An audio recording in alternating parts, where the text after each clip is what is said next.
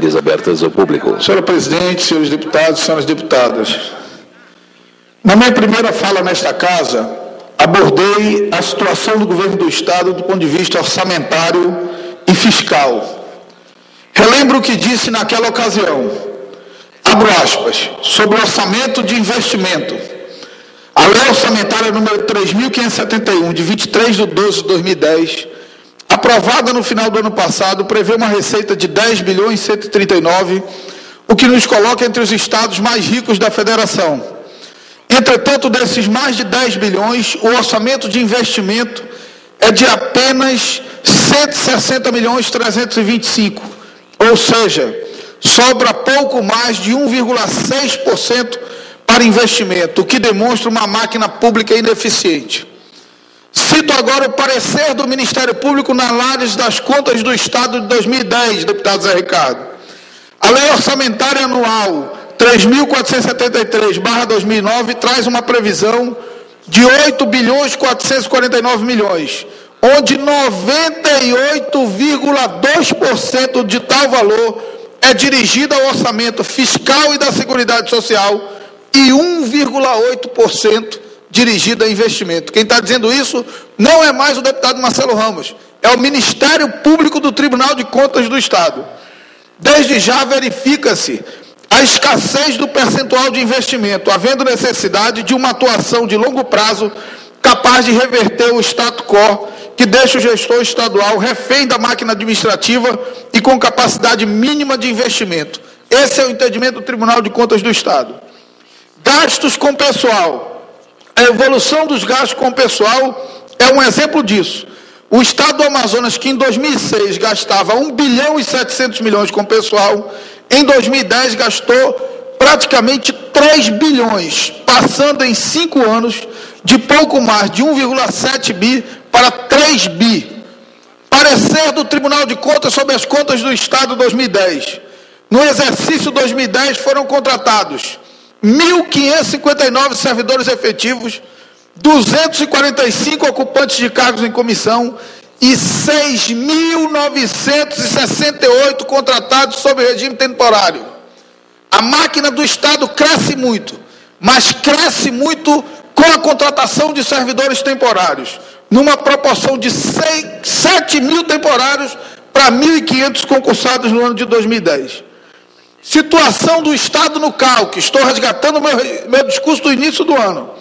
Alguns podem minimizar essa situação orçamentária alarmante, afirmando que o Estado do Amazonas tem uma grande capacidade de endividamento e de captação de recursos junto ao governo federal. Acontece que para isso o governo do Estado precisa estar quite com suas obrigações. Pasmem, não está. Isso lá no início do ano.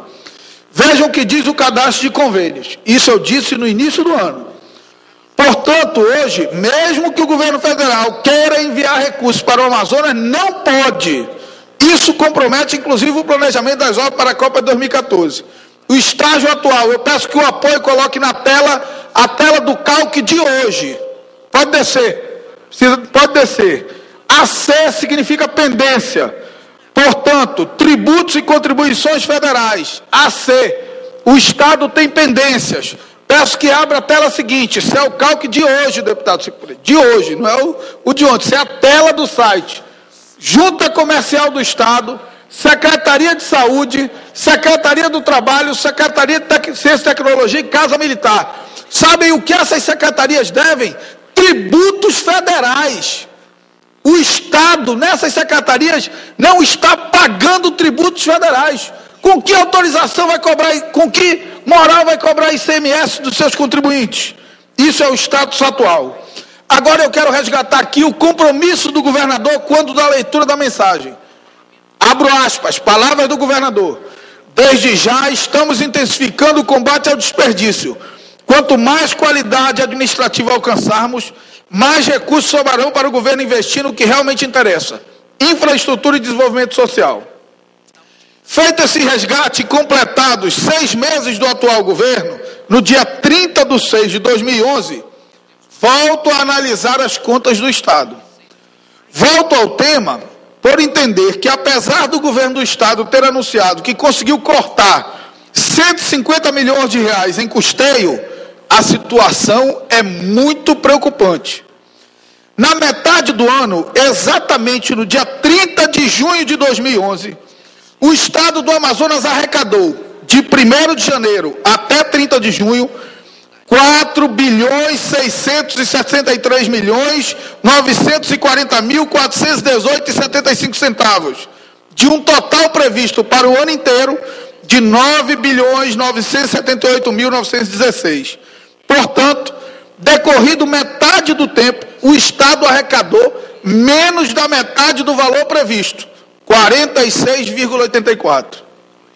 No entanto, quando vamos examinar a despesa, a situação se inverte, pois o Estado já gastou até o dia 30 de junho 7 bilhões 138 milhões 427 mil 991 reais, ou seja, 71,54% do previsto para ser arrecadado o ano inteiro e muito mais do que o efetivamente arrecadado.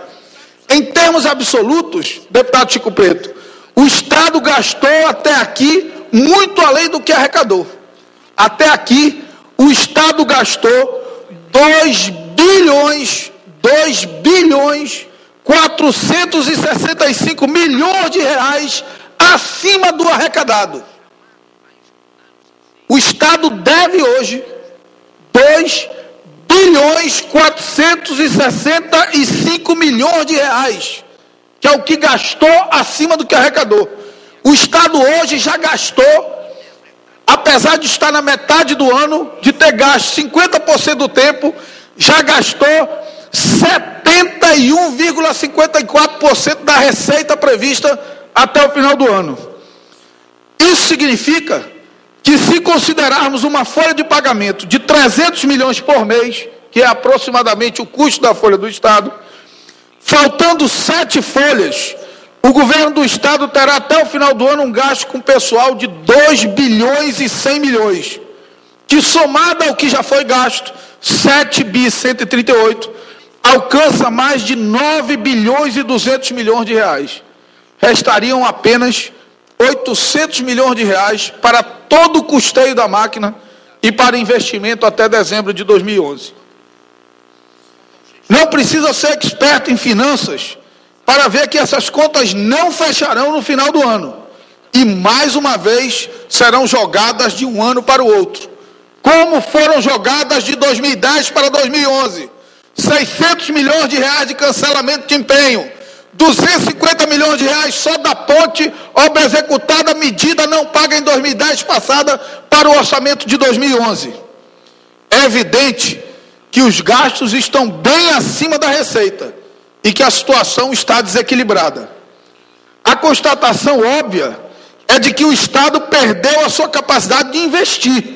E a maior prova disso é que paralisou praticamente todas as obras, inclusive retirando o Cicope do ar. E eu abro um parêntese aqui para mais uma vez renovar a cobrança. O discurso do governo do Estado, há quatro meses atrás, quando retirou o Cicope do ar, era que iria atualizar os dados. Passaram quatro meses, deputado Chico Preto, e o Cicope hoje ainda está fora do ar. Esse governo que prometeu ser mais transparente está conseguindo ser menos transparente do que o passado. Porque no passado apesar de todos os escândalos de desperdício, de gasto, de superfaturamento de obra, você abria o site do governo do estado e conseguia ver o status de cada obra em cada um dos 62 municípios do interior do estado do Amazonas. E o atual governo tirou essa informação do ar. Tirou do ar porque as obras estão paralisadas no interior.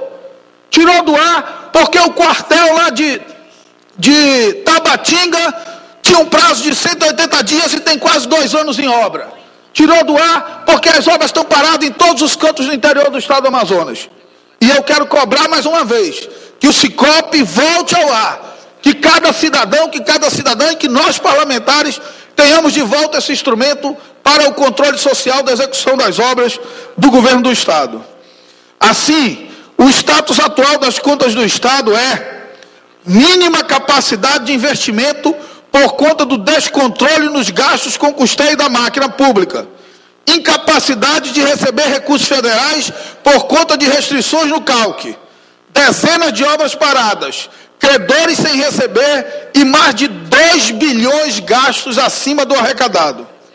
Faço esse discurso para que possamos refletir sobre o futuro do Estado do Amazonas e do nosso povo. No momento de esvaziamento do modelo Zona Franca, por conta das decisões de política industrial do governo federal, aponta-se um cenário de desemprego e queda drástica de arrecadação. E não pode o governo do Estado seguir no caminho do endividamento descontrolado. O governo do Estado anunciou com pompa que economizou 150 milhões de custeio, mas escondeu que gastou 2 bilhões e 400 milhões a mais do que arrecadado. Imagine, deputado Abdala Frache, imagine se nas suas contas domésticas você em seis meses gastar 70% do que você tem para gastar o ano inteiro. Imagine se nas suas contas domésticas você gastar 30% a mais do que o que arrecadou e do que já tem garantido na sua conta bancária.